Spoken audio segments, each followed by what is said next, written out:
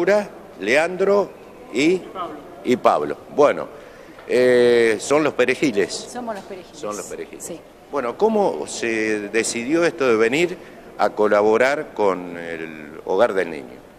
Ahí el- A ver, contame. Bueno, eh, la idea es uno de los chicos que participa de los perejiles, Mauricio, eh, la mamá es María José Roldán, eh, con ella estuvimos, eh, nos comentó que existía la posibilidad de poder venir acá a colaborar con el hogar del niño y bueno, nos pareció bastante apropiado venir a, a primero mostrar lo que hacemos y segundo y principalmente colaborar eh, con la causa. Perfecto. Y Laura, ¿cómo nace este, este grupo de los perejiles, por ejemplo?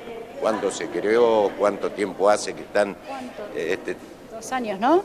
Sí, dos años. Son cuatro chicos que tuvieron la, la idea y bueno, se empezó a formar.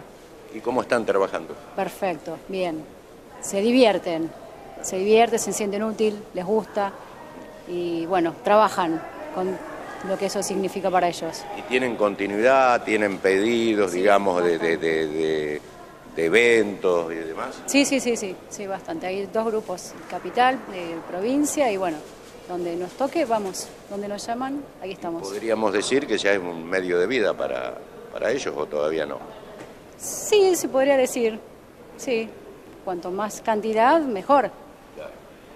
Bueno, Pablito, gracias también a vos por venir acá a Salto. y, y además porque yo hago cerveza artesanal, hice un curso y fui con mi cuñado y ahí empezamos co- como él que hace la cerveza y ahí y salió Fuco ahí.